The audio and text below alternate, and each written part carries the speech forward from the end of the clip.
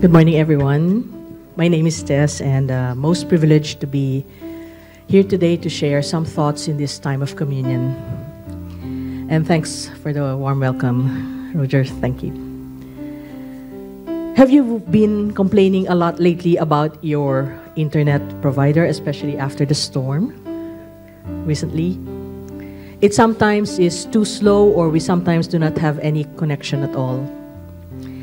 It gets frustrating, isn't it? Especially now that we need it because most of our transactions are done online. Meetings are virtual, therefore, we need online connection.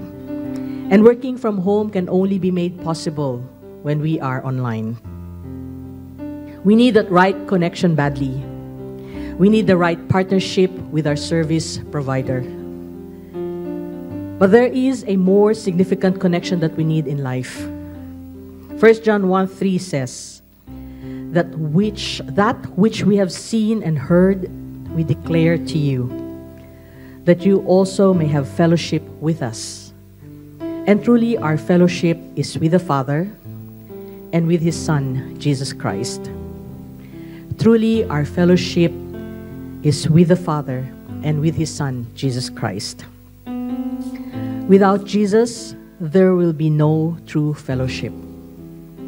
When we have the right connection with God, we have the right relationship with God.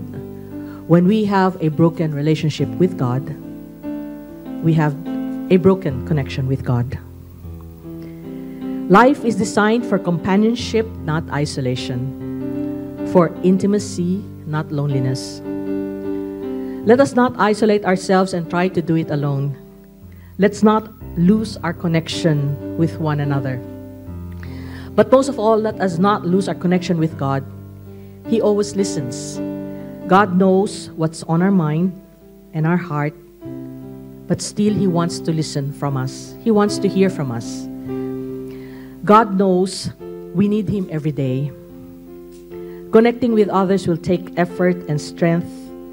That is why we need to be constantly connected to Him, to the ultimate source of life, who is God alone.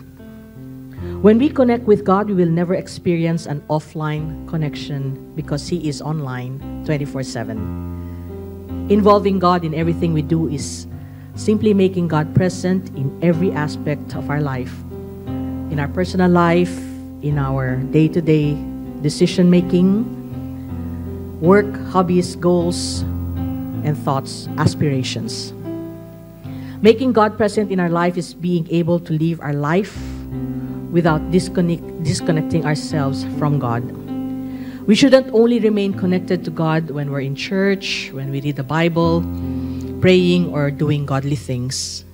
Our connection with God should transcend or go beyond the limits of all this. It is important to connect with God and have a relationship with Him because when we're with Him, we're never alone. This time of communion is a reminder of our ongoing relationship and connection with Him remembering what Jesus had, do- had done on the cross for us. The bread and grape juice are tangible, physical reminders of Christ's love for us every time we eat and drink. It is a reminder of the sacrifice of Christ, what he had done for us on the cross. Luke 22 19 to 20 says, And he took bread, and when he had given thanks, he broke it and gave it to them, saying, this is my body, which is given for you. Do this in remembrance of me. And likewise, the cup after they had eaten, saying, This cup is poured out for you. That is poured out for you is the new covenant in my blood. This time of communion is that time when we can corporately express our love for Him, thanking Him for what He has done, for what He is doing, and for what He is about to do in each and every one of us. As we examine ourselves, some of us may feel unworthy to come to Him, thinking that we are not good enough, that we are constantly failing in our walk with God, and that we have blown it yet again. Friends, I want to encourage us all that this is the very reason Christ died for each and every one of us, and that is why He came for us. Today, let's partake these elements of his broken body and shed blood and use this time to reflect on the sacrifices that he had gone through for us to have life and have it more abundantly. Can I please uh, request everyone to be upstanding? Thank you. Let's bow our heads in prayer. Heavenly Father, we thank you for your lavish love for us, for how you have shown your love for us, that you have sacrificed yourself, your body to be pulped on the cross for us, and for your blood to be shed for us sinners. We thank you for this time when we can reflect on your goodness, your mercy, and your grace towards us. Lord, we want to be connected to you. We want to have that authentic, genuine relationship with you, and we can just freely come into the throne room of grace and say, Lord, here we are. Be with us, use us. We thank you for this time of communion, Lord, when we can just remember all the benefits of Calvary. Lord, as we partake of this, Lord, may we always recall your goodness, your mercy, and your grace upon us. Thank you for everything that you have done. We give you all glory, honor, power, and praise that you alone deserve. In Jesus' name we pray. Amen. Let us eat and drink. Well, good morning, and thank you for uh, inviting us to be part of your morning service. And we're always uh, um, con- consider it uh, as a big privilege for Tess and myself to be here to join you. Um, and I'm always looking forward for a time when we can just spend a time together, um, be part of your wonderful worship service. My name is Greg, and um, I'm part of the part of our NLCC. You hardly see me, but we're we're a family. um, the title of my message today is "The Prodigal Father and the Two Sons." Uh, it is a combination of two messages that I've shared recently, but I'd like to glean all the the bits and pieces and share this you share this uh, today this morning. Um, I, am aiming to finish within 30 or 35 minutes, but it's a combination of two messages. So please do bear with me as I share the, the word of God. And our text for today is Luke chapter 15 verses 11 to 31. And Joy will uh, have the privilege of sharing or reading this story about the lost, the parable of the lost son. Joy, thank you.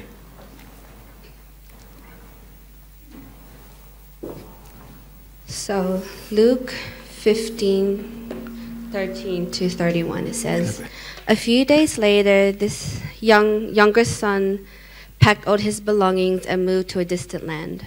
And there he was there he wasted all his money living um, money in wild living. About the time his money ran out a great famine swept over the land and he began to starve he persuaded a local farmer to hire him and the man sent him into the fields to feed the pigs the young man became so hungry that even the pods he was feeding the pigs looked good to him but no one gave him anything when he finally came to his senses, he said to himself, At home, even hired servants have, have food enough to spare, and here I am dying of hunger. I will come home to my father and say, Father, I have sinned against both heaven and you. I am no longer worthy to be called your son. Please take me on as a hired servant. So he returned home to his, to his father. And while he was and while he was still a long way off, his father saw him coming. Filled with love and compassion, he said he ran to his son, embraced him, and kissed him. His son said to him, Father, I have sinned against both heaven and to you. I no longer wor- worthy of being called your son. But his father said, but his father said to the servants, Quick, bring the finest robe in the house and put it on him. Get a ring for his finger, sandals for his feet. Kill the calf we've been fattening. We must celebrate with a feast. For his for this son of mine has come for, sorry, for his son, for this son of mine was dead, and now he has returned to life. He was lost, but now he is found. So the party began. While the older son was in the fields working, when he returned home, he heard music and dancing in the house, and he, and he asked one of the servants, What's going on? Your brother has come back. He was told, he was told, and your father has killed the fattened calf we are celebrating because he has returned safe. The, the, the older brother was angry and wouldn't go in. His father came out and begged him, but he replied, All these years I've slaved for you and never once refused to do a single thing that you've told me. And in all the time you never gave you never gave me even one young goat for a feast with my friends. Yet when this son of yours comes back for how do you say that? Squattering? Yeah, squattering. uh, your money on uh, prostitutes. You celebrate by killing the fattened calf. His father said to him, Look, dear son, you have always stayed by my side, and everything I have is yours.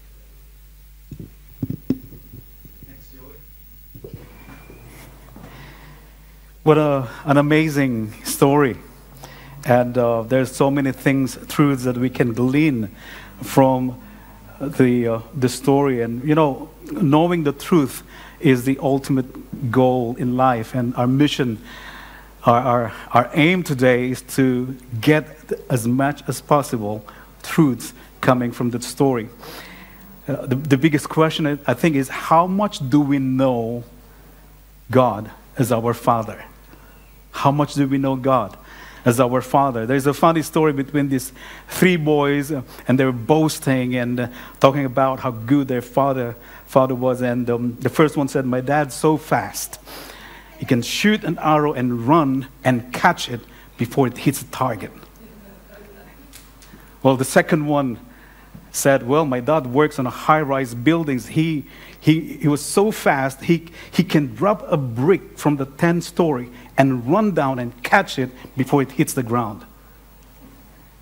Well, the third boy said, Well, my dad works for the city council. He's so fast that he finishes work at 4 p.m. but gets home by 2:30.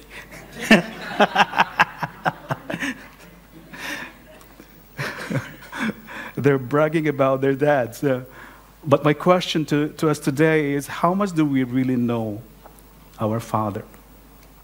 You know, in an article entitled Fatherless America, David Blankenhorn calls the crisis of fatherlessness the most destructive trend of our generation. It can be not having a father or maybe not knowing the father.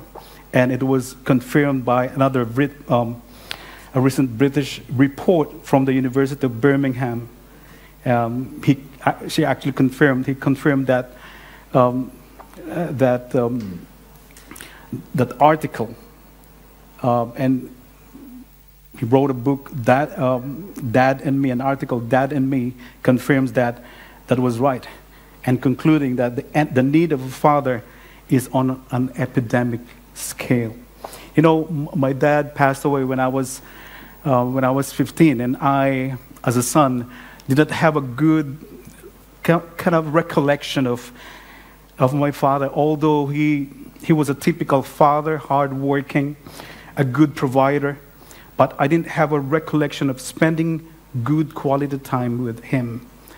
But regardless of our past experiences in life with our earthly fathers, we have available to us a relationship with our Heavenly Father, the God, the creator of heavens and the earth. And friends, as children of God, not knowing our Father will also have a, an ad- adverse effect in our spiritual growth. And the more we spend time with the Father, the, the deeper our relationship would be. And the deeper our relationship with the Father, the more we will know the truth about the Father, and the more we can know Him, and, and it's more liberating to really have that intimacy and understanding who our Father is. It's why in John 8 32 it says, We will know the truth, and the truth will set us free. So it empowers us to live a life that is free from fear and doubt, and it allows us to live with purpose. You know, to be, to be the children of Bill Gates, and, and it's quite amazing. You know who's your, who is your dad, one of the billionaires. And, and you know the more you are connected to your dad, the more it brings so much peace and comfort and joy to you because you know who is your father. You know, um, in that story that we've that Joy just read, you know, the biggest question is who is the real prodigal in the story? Although, uh, when you read that, and uh, sometimes they put a title, "The Prodigal Son," but the question is, who is the real prodigal in the story? The son or the father? You see, over the years, the word prodigal has lost its true meaning because of what we call the semantic shift or semantic change, the evolution of the usage of the word, the modern meaning has radically changed and has become different from the original usage. And, you know, semantics is actually study of meaning in word. Just for example, before 10, 20 years ago, the word wicked means evil. But because of that semantic shift, you hear that with the young guys, wow, that's wicked. That means to say, that's too good, that's awesome. And the word awful, literally full of awe. And it means inspiring, wonder, or impressive. But because of that semantic change, the contemporary usage of the word awful now means extremely bad. In the case of the parable of the lost son, due to the semantic change, you know, the modern meaning of the word prodigal can mean now irresponsible, wasteful, reckless, wild, and rebellious.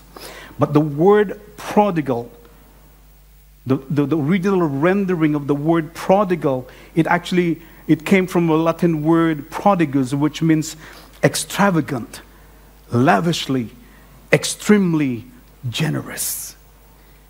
That was the real meaning. That's the real meaning of the word prodigus, or prodigal. So, understanding the true meaning of the word prodigal, we know that it is not the son, but it's the father who expressed extravagance and extreme generosity to his son. But how did the father respond to, to those to his two sons? But before we answer that, I just would like um, talk about the two sons, if it's, if it's okay with you.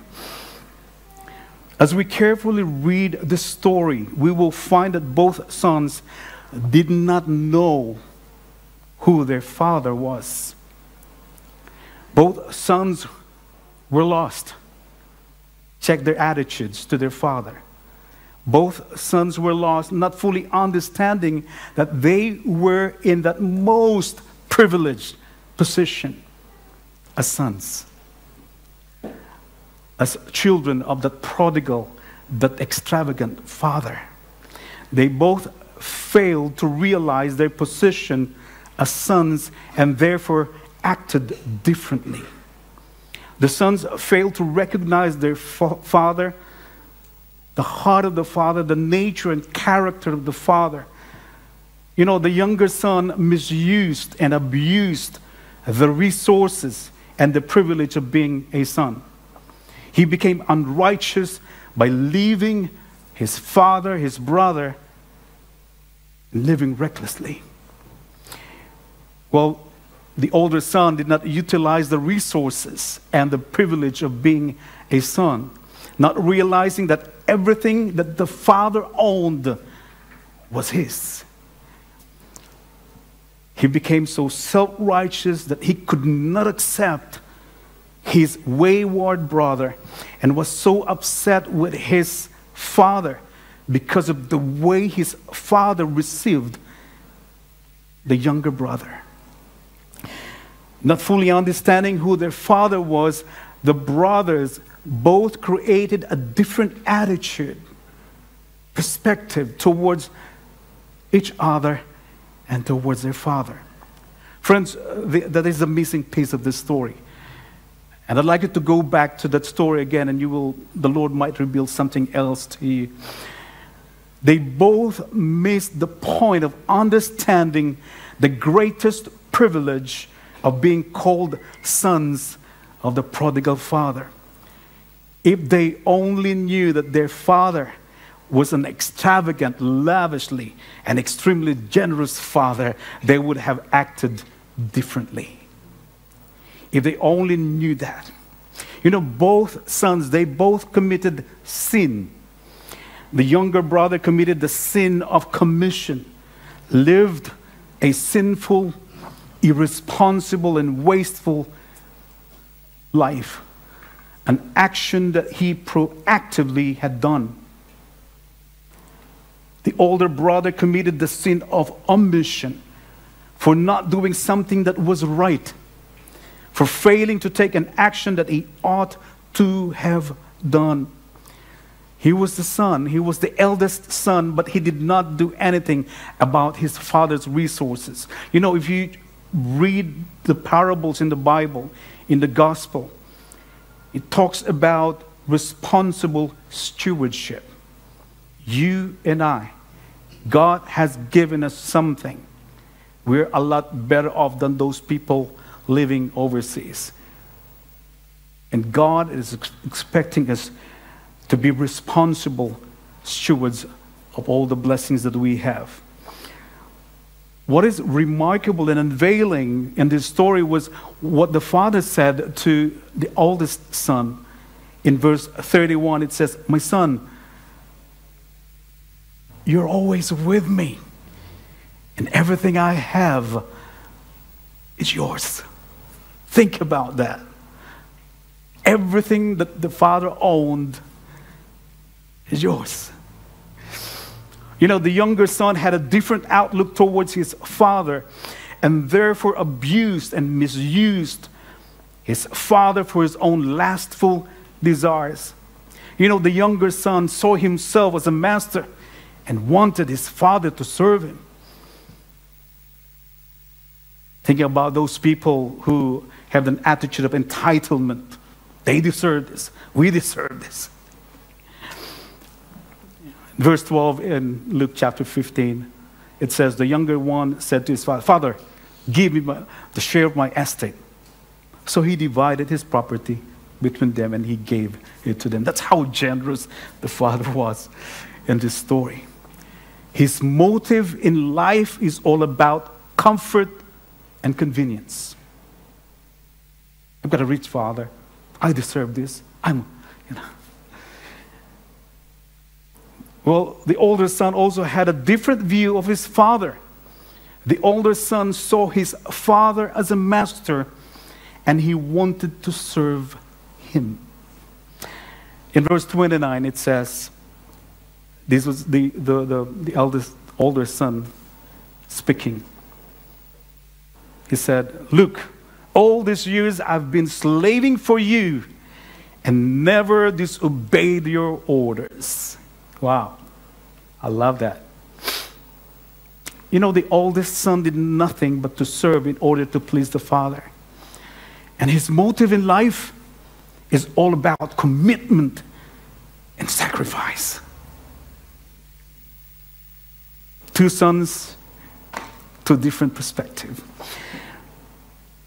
He lost sight of himself and had been blinded by his own desire to serve not realizing that he was already pleasing to the Father, being a son.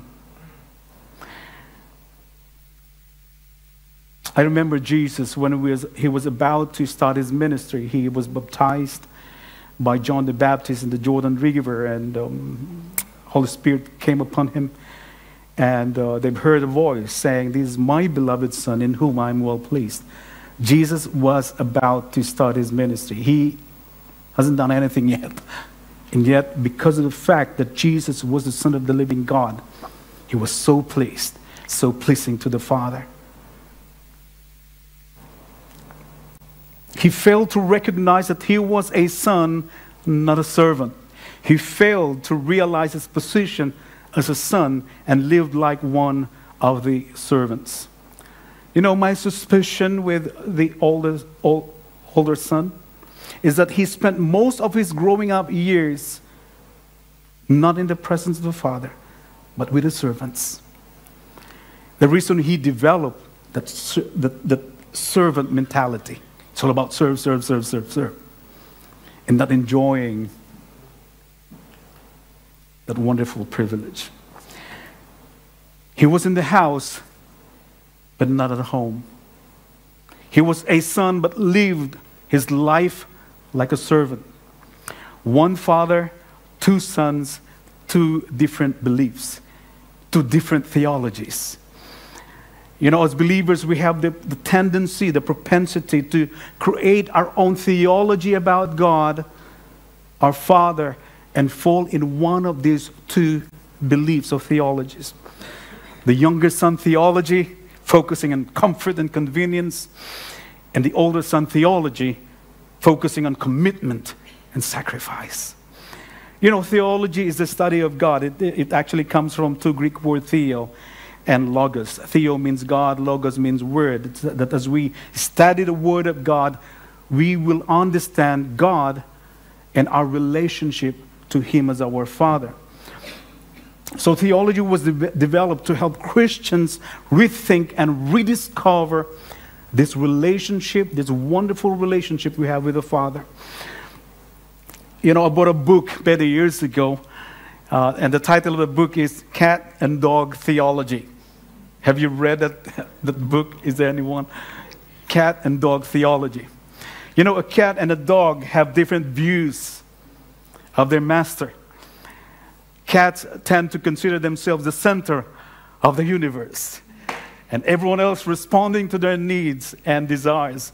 And on the other hand, dogs live to serve and please their masters. Both cats and dogs want obedience in their lives, but in different ways. Dogs want to obey their masters, cats want their masters to obey them. Dogs say to their masters, You feed me, you pet me, you shelter me. Oh, you love me. You must be God. While cats say, You feed me, you pet me, you shelter me, you love me. I must be God.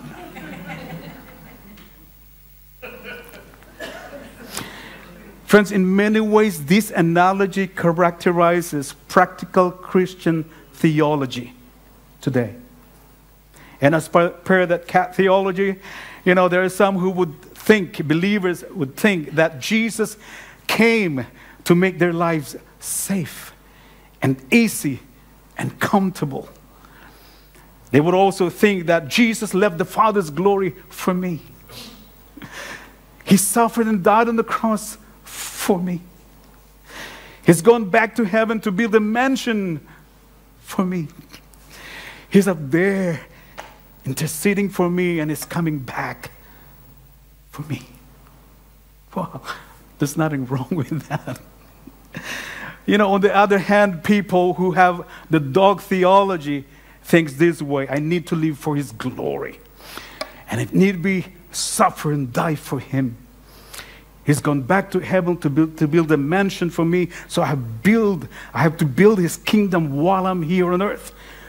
I really have to pray hard because he's there interceding for me. Therefore, I will pray. I need to pray hard and pray more. And he's coming back soon, so I need to keep serving and serving him and ready for his return.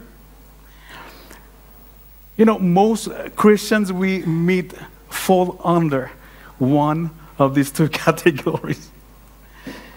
Commitment and sacrifice precede comfort and convenience. Christian life is not just comfort and convenience. Christian life is not just commitment and sacrifice.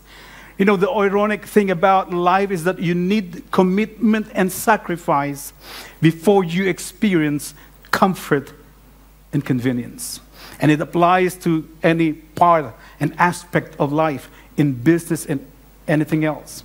You know, I've heard this number one tennis player, she was once asked about the key uh, for her to, to, to maintain the, um, you know, being number one. And she said, I have two keys commitment and sacrifice. You know, both theology have merits. And I also agree with the dog theology, but the only problem problem is if we will be doing it from a position of being a servant and not from a position of being a son or daughter of the living God, we will be missing the point. And we will end up like the self righteous older son of the prodigal father. Let me read to you Luke 15, 28 and 29 and verse 31. It says, The older brother became angry and refused to go in, so his father went out and pleaded with him. But he answered his father, Look, at all these years I've been slaving for you and never disobeyed your orders. Yet you never gave me even a young goat so I could celebrate with my friends. I love what the father said. My son, my son. The father said, You're always with me and everything I have is yours. Wow.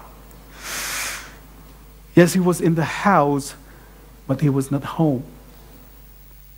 Friends, our love, our commitment, our obedience to God must not come from a position of being a servant, but from a position of understanding that we are sons and daughters of the living God. Friends, always remember that. Write that in your Bible. Scribble that at the very tablet of your heart and remind yourself every morning you wake up, every time you go to bed, I'm a son of God, and my Father is the most extravagant, generous Father. I tell you, you can sleep well. you will wake up looking for, for a wonderful day. And because we have that relationship with God, knowing Him to be our Father and we His children, this will empower us to love Him more and know Him more and serve Him more. But the truth of the matter is, not everyone is a child of God. I've heard a lot of people saying that we are all children of God. That's not true. Not everyone is a child of God. First and foremost, we need to become a child of God. I came from a very religious background and I thought we're doing okay. Then someone shared to me the gospel that I found out that, oops, I thought I, I thought I'm, I was kind of going to heaven, but I was actually heading towards a, in a different, different, um, um, different place. The truth of the matter is, not every human being is a child of God. It is right to say that we are all created beings of God, but we are not all children of God. The Bible is so clear and stated clearly the requisite, the requirement for us to become a child of God. Again, I came from a very um, religious background. Every single day, every 6, 6 p.m., with my siblings, we would come together and pray. 5 a.m., first Mass, we will be together with my mom, mom and dad. We will be there. I thought I was doing, we were doing okay. The Bible has clearly stated the requisite to become a child of God. John chapter 1, verse 11 to 12, it says, He came to his own, but his own received him not. But to those who will receive him, he will give them the right.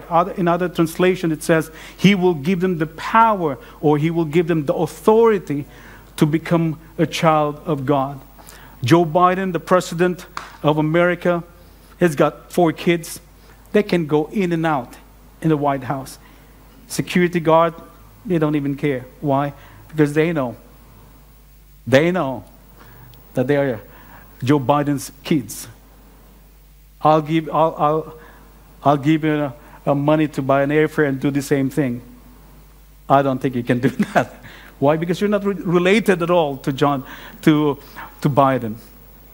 And that's the power of being a child of God. You know, the big difference between you and those people outside is that you have the touch of the divine. Your life is hidden in Christ, is what the Bible says. What I mean is that you are a child of God. You are a child of the living God. And being a child of God is not the end, but the beginning of this ongoing, thriving love relationship us as children and Him as our Father. And this has to continue on. You're not coming from the point of being a servant, you're coming from a point that you have all the right, the power, the authority because you are a child of God.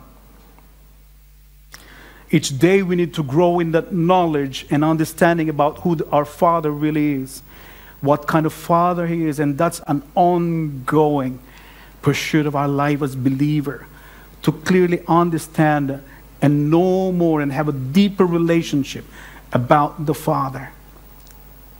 And it, that is inexhaustible. By the time you know something about the Father, there's another one that you need to know about the Father. So amazing. You know, uh, it's not about just knowing knowing about Him. It's actually knowing Him.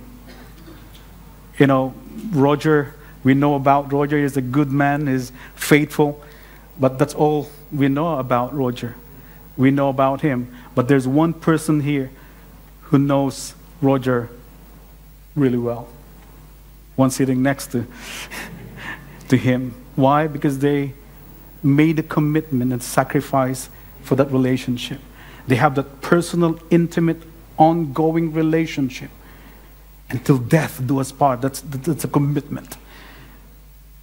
That, that's the kind of personal relationship that we need to have with God our Father. So, how did the Father respond to his sons? Firstly, how did the prodigal father respond to the youngest son? You know, though undeserving, I'm talking about the, the, the youngest son, and yet he gave to him his cut.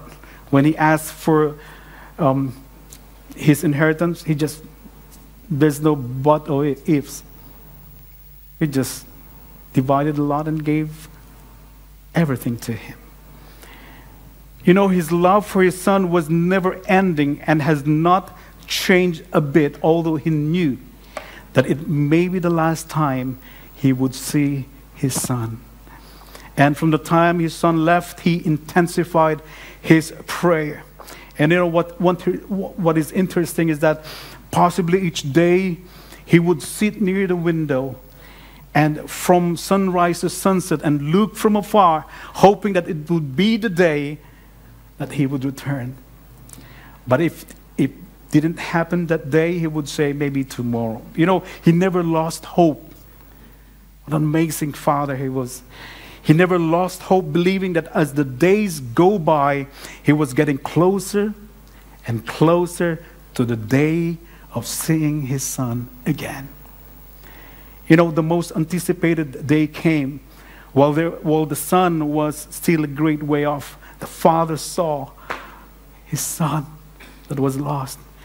It says, it says here, and the father, father saw him and had compassion on his son. You know, literally, the meaning of the word compassion is to suffer together.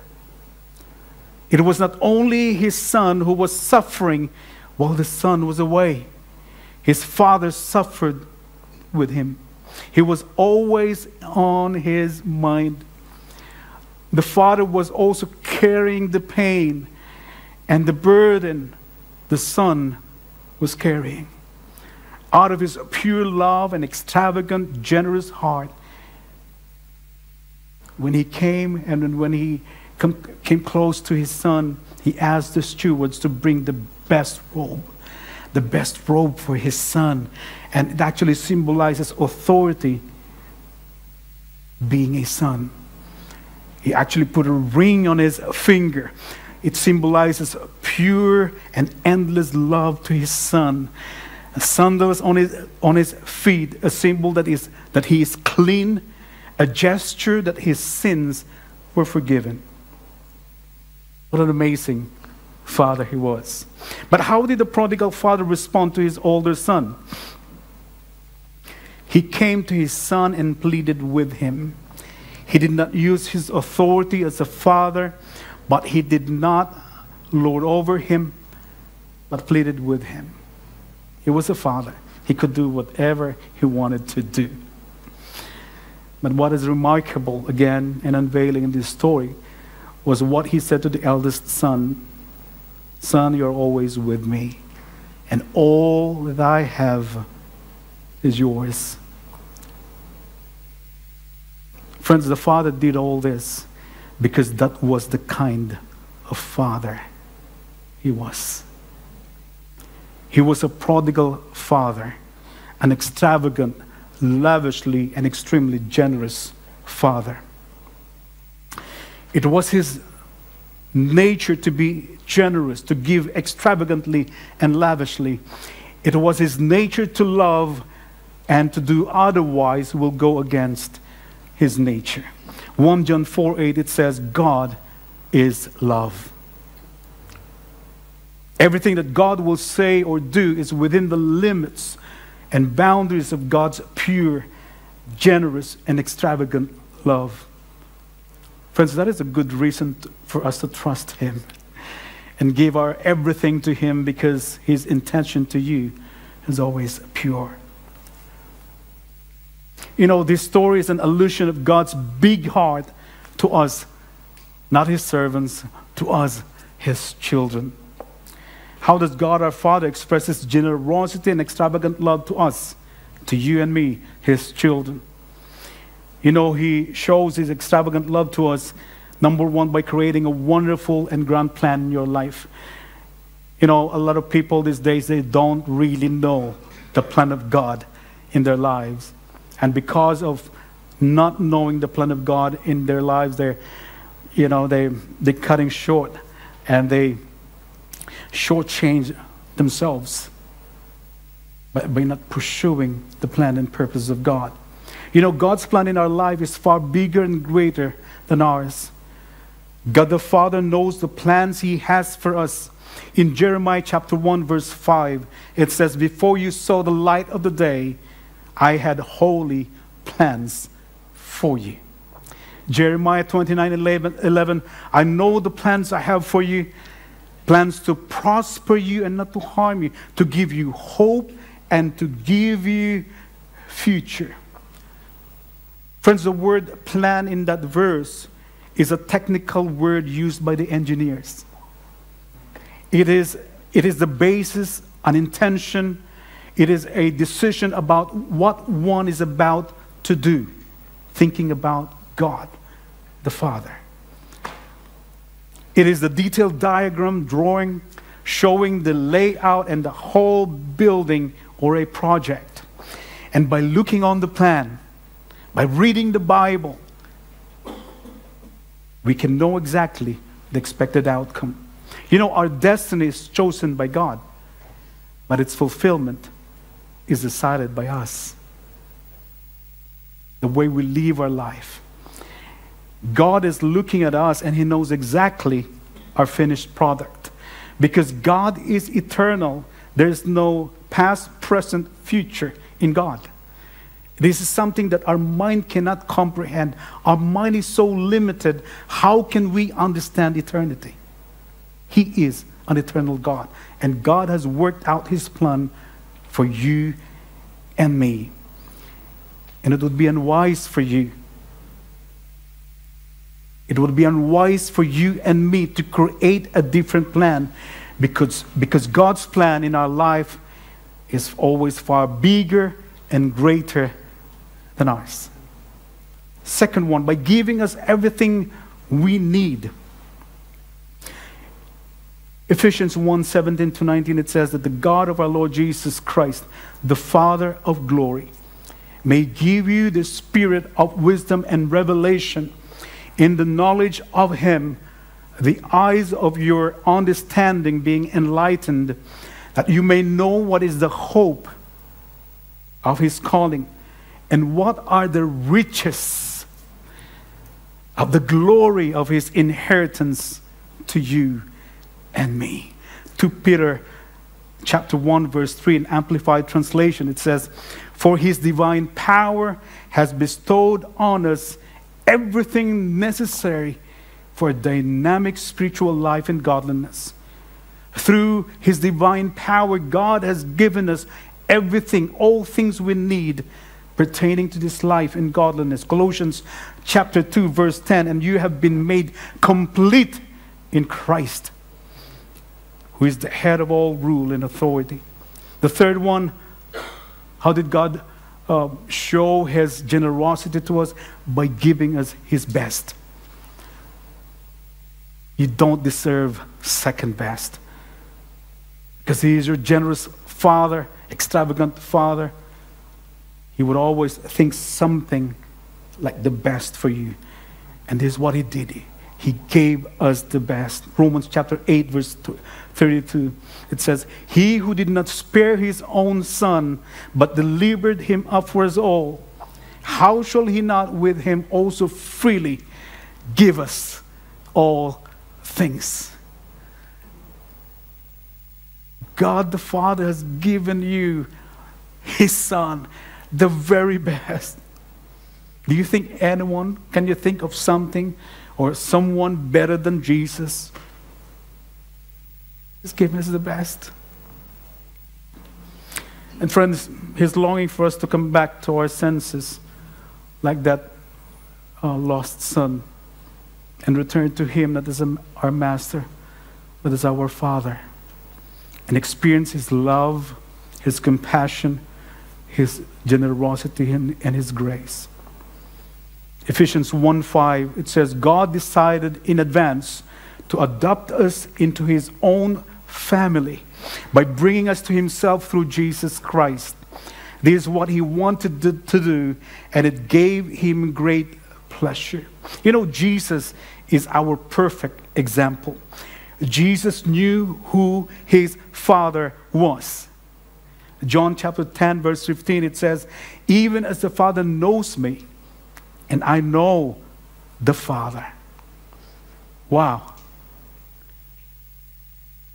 You know, Jesus at the age of 12, 12 years old, at the age of 12, knew that God was his Father. Luke chapter 2, verse 49, when Mary and, and, and the Father, his, his Father, was looking for, they were looking for him, Jesus said to them, Why? Why were you looking for me? Did you not know that I must be in my Father's house? Luke chapter 3, verse 22.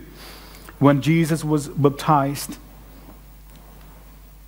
the voice from heaven came, and they heard a voice from heaven saying, You are my beloved Son. In you I am well pleased. Jesus came and introduced us to God, not as Yahweh, but as our Father you will read, read, the, read the gospel, you will always find Jesus is directing us not to the master, Uh, to the Father. In his prayer, the disciples asked, Teach us how to pray. And Jesus said, When you pray, pray in this manner Our Father. You know, when Jesus was tempted, after that 40 days and 40 nights in the wilderness, he was tempted. And the temptation, you, you, you, you read that and you will find the temptation of the, of the devil, Satan himself. If you are the Son of God, if you are the Son of God, make this stone bread. If you are the Son of God, we need to understand that. You know, the heaven is at stake. Because there will be a father full of servants, but no sons and daughters.